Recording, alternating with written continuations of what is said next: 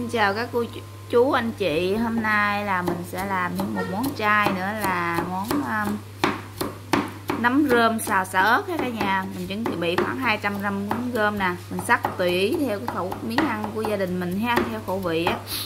Rồi. À, luộc sơ qua một cái ha cả nhà xong mình sẽ chuẩn bị tỏi ớt nè. Tỏi ớt và à, xả băm đó mình sẽ đi bắt dầu lên mình cháy tỏi ớt xả lên hết các bạn món này thì mình kho xả ớt á, thì nó rất là ngon hết cả nhà dễ ăn nữa. Đây mình à, kho xả ớt thì mình sẽ sử dụng nước mắm chai ha. Nước mắm chai mình sử dụng cái hãng này nè cả nhà ăn rất là ngon ha từ đậu nành nè. Đó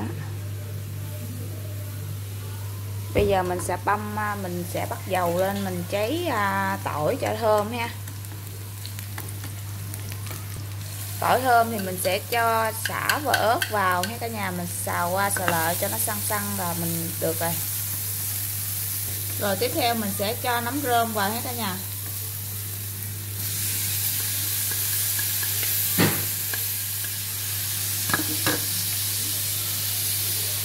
Rồi xào thơm xả quá trời cả nhà ơi xả ớt nè mình cho nửa muỗng cà phê bột ngọt nè. Cả nhà không ăn bột ngọt thì không cần để vô nha bỏ qua bột ngọt. Một muỗng cà phê đường.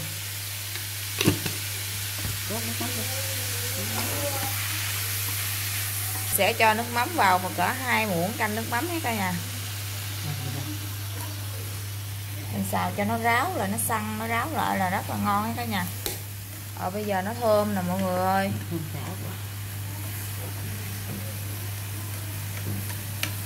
Rồi thơm quá cả nhà ơi. Quá là thơm luôn nè.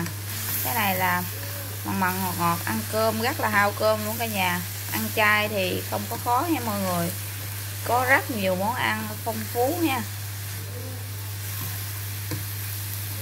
Thơm quá. Vừa ăn mặn mặn, ngọt ngọt nha, Rất là ngon rồi bây giờ như vậy là ta chín cái món à, nấm rơm xào xả ớt đó cả nhà.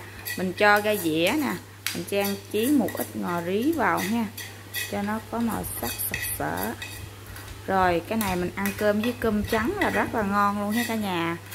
Đây mời cả nhà nha